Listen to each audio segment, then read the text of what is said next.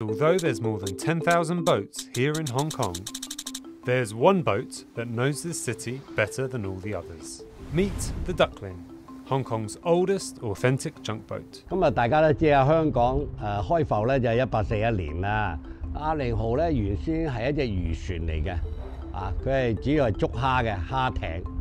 A typical junk is a sailing boat with battened sails. The English term likely arose from the Portuguese word junco, used when describing medium to large ships during colonial times.